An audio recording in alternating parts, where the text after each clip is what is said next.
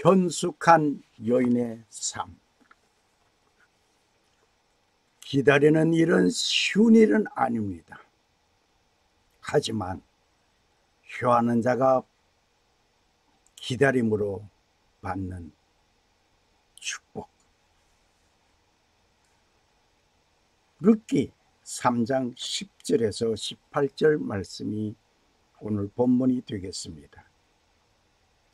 룻기 강의 제 여덟 번째 시간입니다. 오늘 이곳에 오신 여러분에게 드리는 귀한 선물입니다. 기다림은 행복의 첫 걸음입니다. 나의 삶을 통하여 나의 인격이 나타나는 것을 우리는 잘 알고 있습니다. 내 삶이 어떠한가에 따라서 내 가문을 좋게 보이기도 합니다. 때로는 나쁘게 만들기도 합니다.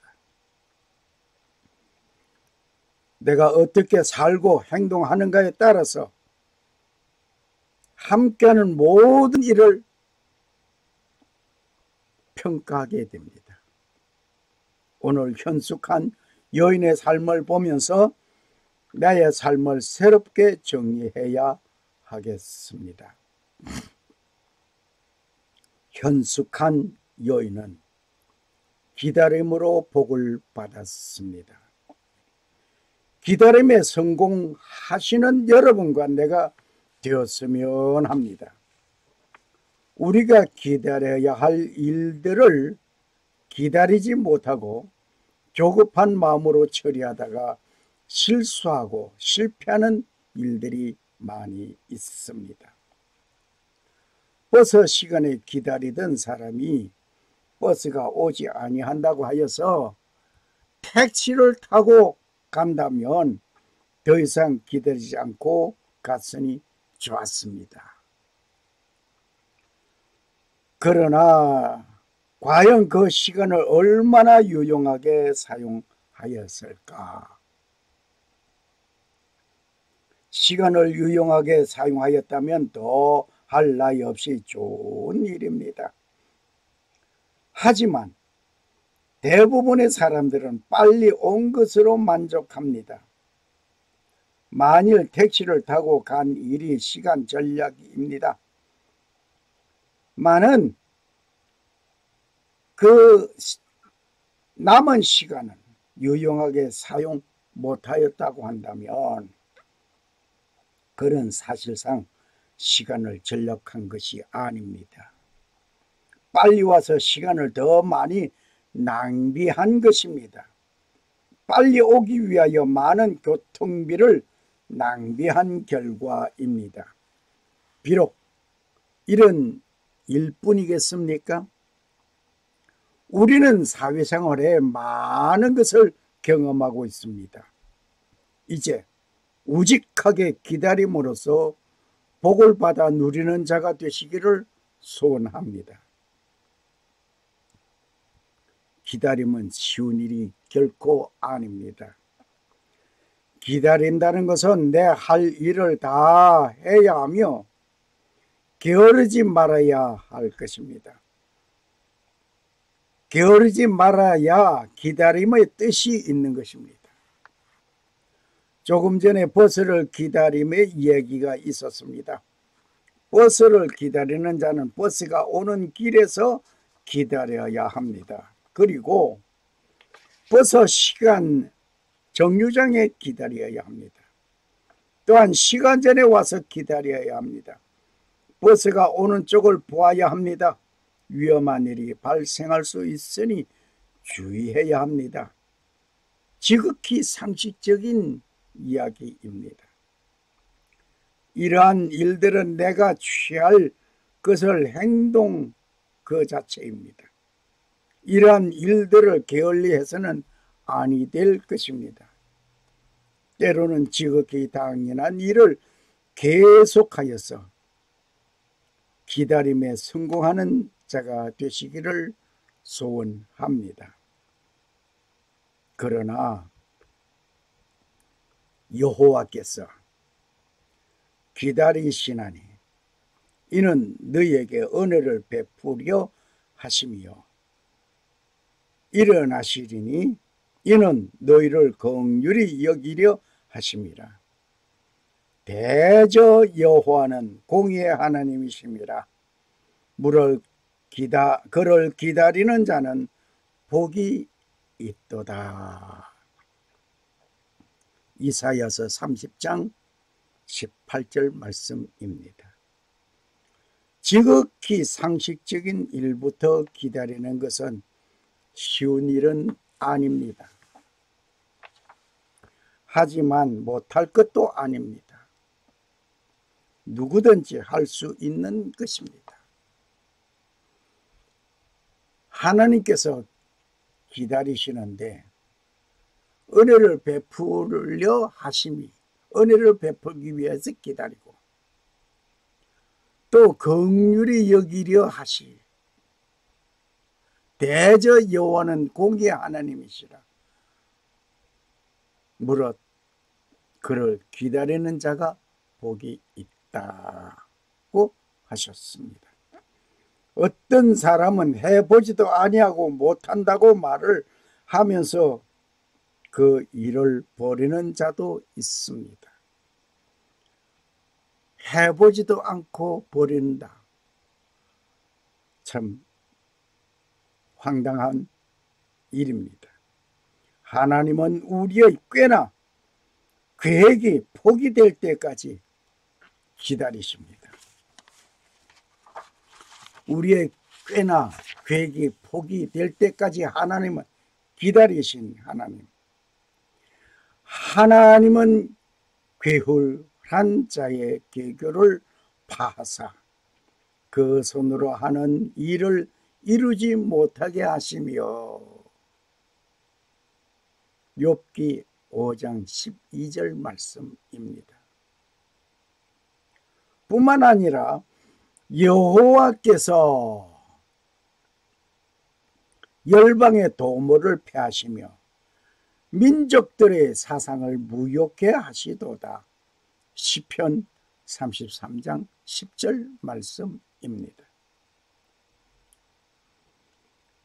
모세가 40세에 40년 동안 애굽 왕궁에서 배우고 익힌 왕도의 길과 학문과 무술과 그 힘으로 동족을 구출하려고 하였습니다. 그때는 하나님께서 그 모세를 쓰지 아니하셨습니다. 오히려 광야로 유배시켰습니다. 미디안 광야에 가서 40년 동안 새롭게 훈련을 받았습니다. 모세는 자신이 무기력하고 무능한 존재임을 알게 되었습니다. 그리고 하나님이 함께 하셔야 함을 배웠습니다. 이렇게 되기까지 하나님은 기다렸습니다.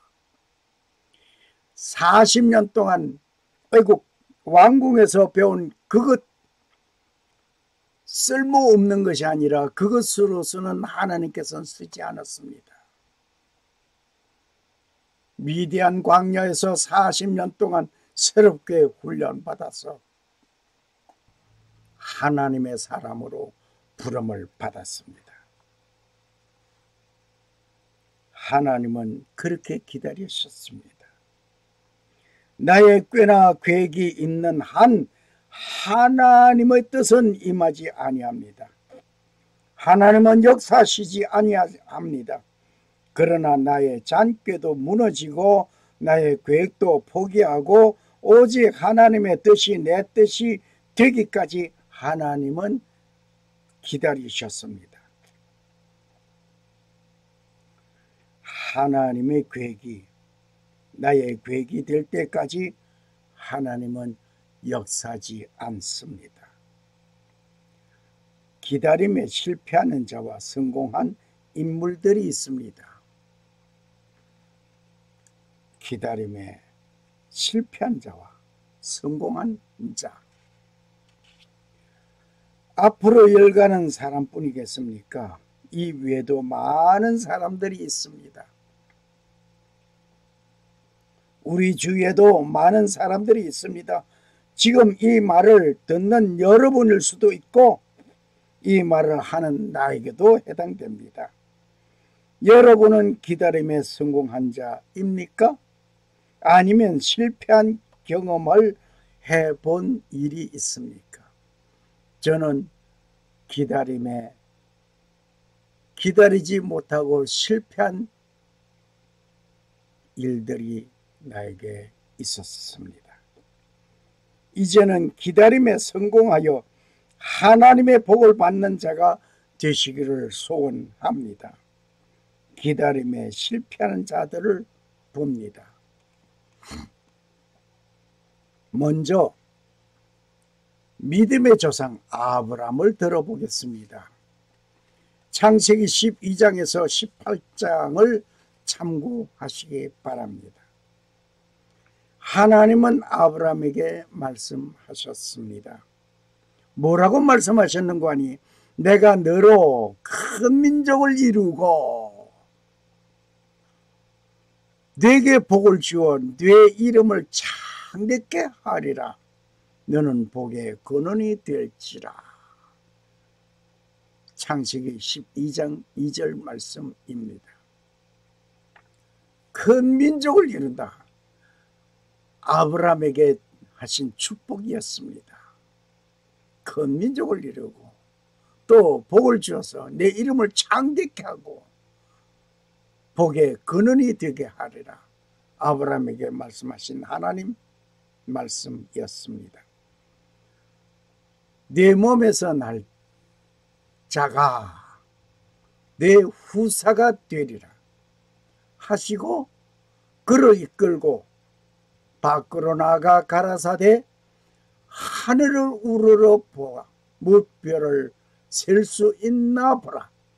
또 그에게 이르시되 네 자손이 이와 같이 많으리라. 창세기 15장 4절 5절 말씀이었습니다.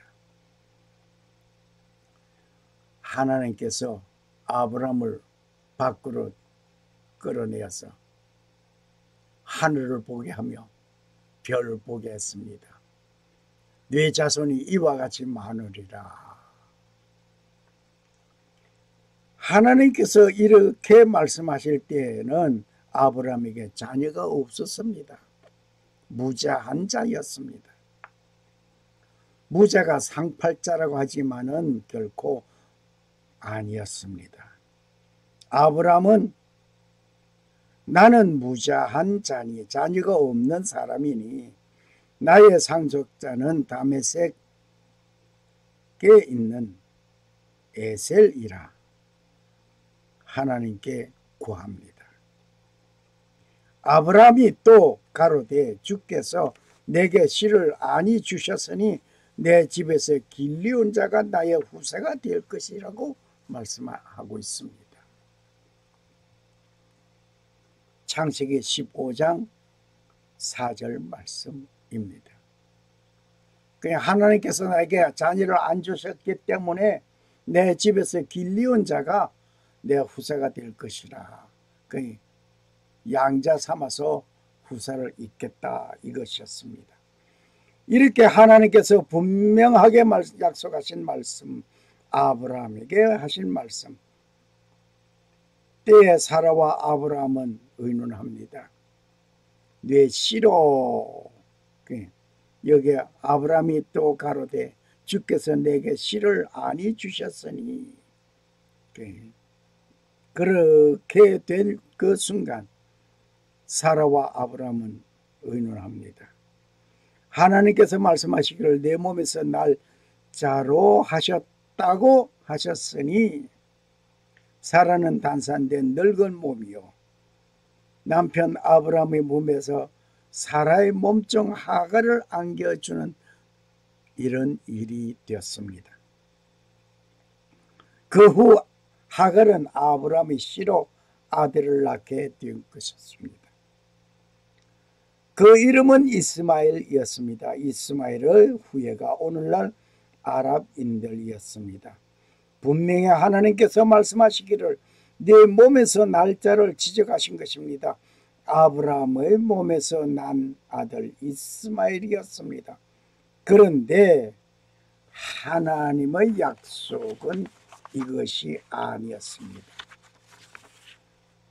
하나님께서는 사라와 아브라함 사이에서 태어난 아들을 말씀하고 계신 것입니다.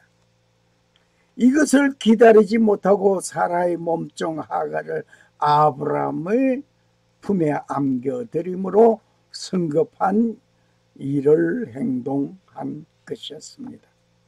그 결과 인류의 종말이 이르기까지 이삭과 이스마엘의 형제 싸움은 다툼은 쉬지 아니할 것입니다. 아브라함이 기다리지 못한 결과 인류의 역사 속에 크나큰 오점을 남겨놓았던 것입니다. 이스라엘 백성이 모세가 시내산에 들어가서 십계명을 받는 순간 40일을 기다리지 못한 사건. 출애굽기 32장을 참고하시기 바랍니다. 그들은 기다리지 못하여서 금송아지를 만들었습니다. 금송아지를 섬기는 일을 하였습니다. 시내산에 들어간 모세를 기다려야 할 것을 기다리지 못한 결과였습니다. 도마는 예수님께서 부활하심을 기다리지 못하였습니다. 다른 사람이 스승의 부활 소식과 부활의 모습에 즐거워하는 제자들의 환호성에 함께 있지 못하였습니다. 요한복음 20장을 참고하시기 바랍니다. 기다림에 실패한 자들은 한결같이 그 약속의 말씀을 믿지 못한 결과였습니다. 믿는다는 것은 소망을 이루는 것입니다. 믿음은 기다림입니다. 믿는다는 것은 약속에 말씀하신 것을 사랑하기 때문에 기다리게 됩니다. 믿지 못하면 기다리지 못합니다. 믿음, 소망, 사랑 이 중에 제일은 사랑이라 고린도전서 13장 13절의 말씀을 우리는 한번 깊이 상고해 보시기 바랍니다. 예수님께서 하신 말씀을 내가 믿지 못하고 어떻게 천국을 소망할 수 있겠습니까? 내가 믿지 못하고 어떻게 예수님을 사랑할 수가 있겠습니까? 믿기 때문에 천국을 소망하고 믿기 때문에 주님을 사랑하는 것입니다. 여기에서 믿음, 소망, 사랑 그 중에 제일은 사랑이라 하였으니 사랑만 강조하고 있는 분이 있습니다. 사랑하게 되면 예수님을 사랑하게 되면 예수님의 말씀을 믿게 되고 예수님의 그 말씀을 믿기 때문에 천국을 소망하는 것입니다. 이것을 우리는 사랑이라는 것은 그저 사랑하는 좋아해 주는 그것만 생각하는데 여기에 사랑은 에로스의 사랑 그게 아닙니다. 아가페의 사랑을 말합니다. 사랑하는 사람이 온다는 소식을 듣고 가만히 있는 그런 어리석은 사람이 되어서는 아니 됩니다.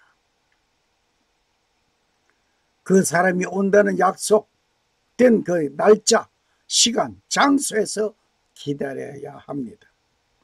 신랑 되신 예수 그리스도께서 재강림하신다고 말씀하셨습니다. 그날이 어느 날 어느 시간인지 모르지만은 기다리는 단장된 신부가 되어야 할 것입니다.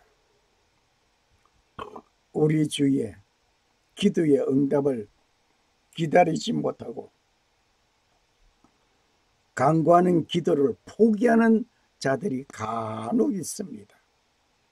여호와께서 아브라함에게 이르시되 너는 정령히 알라 네 자손이 이방에게 객이 되어 그들을 섬기겠고 그들은 400년 동안 내 자손을 괴롭게 하리니 놀랍습니다. 하나님께서 아브라함에게 당장 큰 민족을 이루어 주신 것 아닙니다. 그리고 이방의 객이 되어서 그들을 섬기고 400년 동안 어려움을 당하고 괴로움을 당하는 그런 가운데에서 출애굽 과정이 일어나는 그 엄청난 힘든 일들 하나님께서 그려놓은 작품입니다. 이 그림을 우리는 외면할 수 없습니다. 아브라함에게 하신 말씀이 당장 이루어지신 것이 아니라 400년이란 긴 세월 속에 이루어진 것입니다. 우리의 기도는 내 당대에 이루어지지 아니한다고 먼 후일 나의 후손에게 이루어질 것을 포기해버리는 자가 되지 말아야 할 것입니다. 특히 삶을 포기하는 자도 있습니다. 얼마나 힘들고 답답하였으면 삶을 포기하였겠습니까? 하지만 이것을 한번 생각해 보시기 바랍니다. 100가지의 사건 가운데 99가지는 삶의 희망이 없고 포기해야 하겠다고 결정을 내리고 끝내는 민주주의 의결 방식에 따라 정답을 가지지 못하고 삶을 포기하는 자가 있습니다. 그런데 단 1%의 희망이 있습니까? 삶을 포기하고 싶은 결정의 1%의 적은 것이지만 바로 이것은 희망입니다. 소망입니다. 포기해야 할 아홉, 아홉 가지를 보지 말고 희망이 있는 1%를 보시기를 바랍니다. 소망입니다. 희망입니다. 삶의 근거를 이것에 두고 일어서십시오. 이것이 약속입니다. 그 약속을 기다리십시오. 포기하는 자는 실패자입니다. 기다리는 네, 성공하는 자들이 있습니다. 다윗은 왕이 되리라는 약속을 오랜 세월을 놓고 기다렸습니다. 이 다윗같이 기다려 보는 사람 되어 보아야 할 것입니다. 다윗은 평범한 삶을 살면서 평안하게 기다리는 자가 아니었습니다. 다윗의 생명을 노리는 칼과 창이 있었습니다. 이것을 피하여 유배 생활을 하는 다윗이었습니다. 망명 생활의 고통과 역경에서도 다윗은 기다렸습니다. 사울 왕이 죽이려 할 때도 다윗은 기다렸습니다. 자기의 생명을 찾아 죽이려는 원수를 만났을 때에도 다윗은 왕을 죽이고 즉위할 수 있는 기회가 왔지만 원수를 평안하게 가게 한 다윗이었습니다. 왜 그렇게 하였습니까? 하나님께서 약속하신 말씀을 기다린 다윗이었습니다. 다윗은 30세의 헤브론에서 사울이 죽은 뒤 7년 6개월 동안 유다를 다스리면서 기다렸습니다. 그리고 예루살렘에 올라와 33년을 온 이스라엘과 유다를 다스린 다윗이었습니다. 사무엘상 16장에서 사무엘하 5장까지를 참고하시기 바랍니다. 특히 정치인은 다윗과 같은 아름다운 모습을 배우시기를 소원합니다. 상대편을 무너뜨리고 내가 올라서려고 하는 얄팍한 생각과 행동이 극심한 가운데 있습니다. 등 뒤에서 칼을 찌르는 자들이 많이 있습니다. 나를 해치려는 정치인들이 정적들이 많이 있습니다. 내가 상대편의 약점을 이용하여 죽일 수 있습니다. 그 모든 것들을 때를 기다리는 자가 되어야 할 것입니다. 비록 정치는 미워할 수 있습니다. 그러나 그 사람은 미워할 것이 아닙니다. 다윗은 사울의 행동은 미워할 수 있었습니다. 하지만 사울을 미워하여 취한 행동은 없었습니다. 예수님께서 원수를 내 몸과 같이 사랑하라고 하신 말씀 이전에 먼저 원수를 사랑한 다윗이었습니다. 잘못 정치하는 정치인들을 마음에 미워하고 용납할 수 없다고 할지라도 내 민족과 조국은 사랑하는 마음이라면 내 뜻에는 맞지 아니하여도 다윗같이 기다리는 자 되어야 할 것입니다. 그리고 할 일을 다 끝내고 기다려야 할 것입니다. 이에 시무가 가로되 내 딸아 이 사건이 어떻게 된 것을 알기까지 가만히 앉아 있으라. 그 사람이 오늘 이 일을 성취하기 전에는 쉬지 아니하리라. 룻기 3장 18절 말씀 봅니다. 기다리는 자는 자기의 할 일을 완수하여야 합니다. 기다리지 못하고 행동하는 자는 그 약속을 믿지 못하는 불신임 때문입니다. 내가 할 일을 다 하고 성취되는 일을 기다리는 자가 되어야 합니다. 그 기다림은 바라고 악망하는 간절한 소망과 믿음의 실천적인 사람의 인물이 되어야 될 것입니다. 그렇게 해야 축복입니다. 이러한 축복을 받은 현숙한 여인, 그는 복을 받았습니다. 신랑 대신 예수 그리스도를 기다리는 현숙한 신부가 되시기를 소원합니다. 현숙한 여인은 은혜를 계속 유지하는 것입니다. 불변의 행동의 삶이 있어야 한다 말입니다. 발치의 이불을 들고 들어갈 때그 행동, 그 마음, 그 뜻이 변함없이 새벽까지 계속된 것입니다. 이러한 행동같이 신랑 대신 예수 그리스도의 재강림하실 때까지 변함없는 신부가 되어야 할 것입니다. 이러한 상황에 내가 죽는 일이 있어도 변함이 없는 믿음의 생활이어야 한다 말입니다. 여기에 우리는 사드락과 메섹과 아벤노고의 신앙 고백을 들어보겠습니다. 사드락과 메삭과 아벤노고가 왕에게 대답하여 가로되 느부갓세날 왕이여 우리가 이 일에 대하여 왕에게 대답할 필요가 없나이다.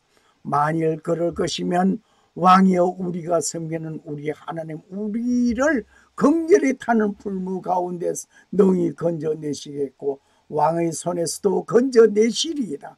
그리 아니하실지라도 왕이여 우리가 왕의 신들을 섬기지 아니하고 왕의 세운 금심상에 절하지도 아니할 줄 아옵소서 다니엘서 3장 16절 17절 18절 말씀입니다. 어떻습니까? 하나님께서 우리를 긍휼히 타는 불무에서 건져낼 것입니다. 그러나 그렇게 건져내 주지 아니한다 할지라도 하나님을 섬기는 우리는 왕이 만들어 놓은 그 금신상을 섬기지 아니하고 절하지 않겠다. 얼마나 놀라운 신앙입니까? 내 목숨 하나 부지하기 위하여 변질되는 믿음의 생활자가 아니라 내 한 목숨이 하나님께 달려 있다고 하는 것을 믿는다면 이 일로 인해서 변질되는 믿음의 생활이 되지 않고 오직 하나님만 바라보는 믿음의 사람이 되어야 할 것입니다. 이러한 불변의 신앙과 믿음으로 살아가는 자는 마지막 때에 666의 짐승의 표를 받아라. 아니 받겠다. 이런 논란에도 염려 없이 대처할 수 있는 믿음이 되는 것입니다. 받아라. 666. 짐승의 표를 받아라. 안 받겠다. 그런 논란에 처할 것이 아니라 변함이 없는 신앙의 믿음이 곧 유지되어져야 합니다. 하나님께서 우리를 구원하여 주지 아니하실지라도 왕이여 우리가 왕의 신들을 섬기지 아니하고 왕이 세운 금신상에 절하지 아니할 줄 아옵소서. 이 믿음이 마지막 시대에 짐승의 표를 받아라 안 받겠다 거기에 논란을 될 것이 없습니다. 염려할 것 없습니다. 아니 받는다 할지라도 하나님께서는 우리를 보살펴 주실 것이요. 우리가 아니 받는다 할지라도 그것과는 상관없이 하나님만 우리는 섬기겠다. 이런 믿음의 자세가 필요합니다. 변함없는 신앙이 은혜를 계속 유지할 수 있는 것입니다. 그리고 겸손의 삶을 살아야 하는 것입니다. 발치에 누웠다가 그 발치에 누웠다가 룻기 3장 14절 말씀 당시 유대 풍습에 보면 하인이 상진의 발을 씻어주는 것입니다. 하인이 상진의 발을 씻어주는 직분에 이런 종과 같이 겸손으로 발치에 눕게 된 것입니다. 주께서 종의 신분에서 겸손을 배워야 은혜를 계속 유지하는 것입니다. 내가 저 사람보다 못한 것이 뭐 있으랴 할 때에는 은혜를 누리지 못합니다. 하나님의 말씀에 충만한 삶을 살아야 합니다. 보아스가 가로되 네 겉옷을 가져다가 펴서 잡아라. 펴서 잡으니 보리를 여섯 번 되어 룻에게 입어주고 룻기 3장 15절 말씀입니다. 겉옷을 펴서 잡는다는 것은 마음문을 열어 하나님의 말씀을 듣는 순간 준비된 것입니다. 룻기 강의 두 번째에 상징적인 이름을 소개하였습니다. 다시 한번 정리해 보겠습니다. 보아스가 주님, 이삭은 말씀이요, 보리는 역시 말씀입니다. 루시 성도라고 한다면 주님께서 성도의 옳은 행실, 옷, 하나님의 말씀을 주신 것입니다. 하나님의 말씀에 기초된 기도 생활, 전도 생활, 봉사 생활, 이 모든 것이 은혜를 계속 유지하게 하는 것입니다. 정의의 삶을 살아야 할 것입니다.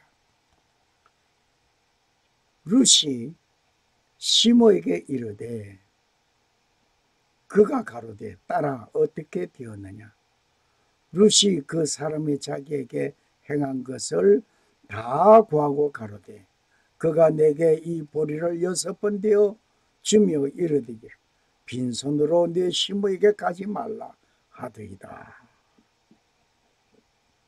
룻기 3장 16절 17절 말씀입니다.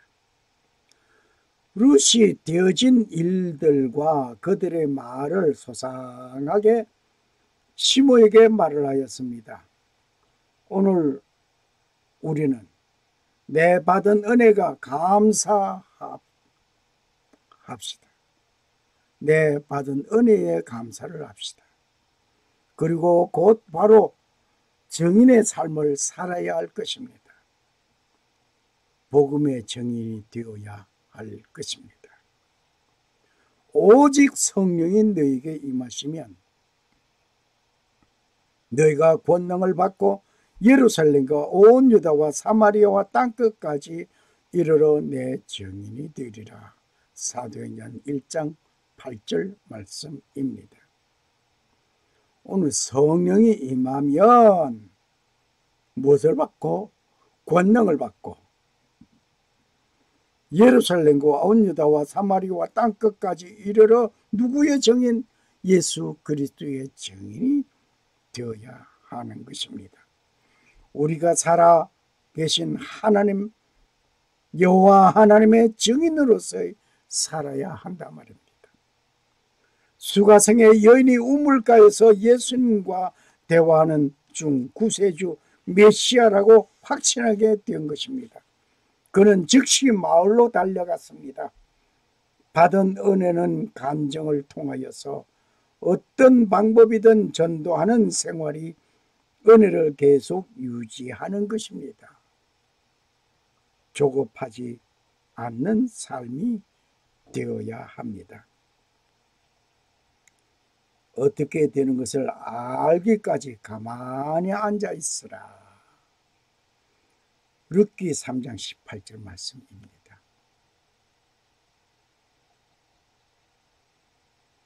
일의 성공을 내다보면서 인내해야 합니다. 조금 더 조급하지 말아야 할 것입니다. 조바심이 없어야 합니다. 조바심이 들면 시험 들기 쉽습니다. 곧 믿음의 삶은 기다리는 것입니다. 한 그루의 사과나무를 심어놓고 사과를 얻기까지 적어도 6, 7년의 세월을 투자해야 합니다.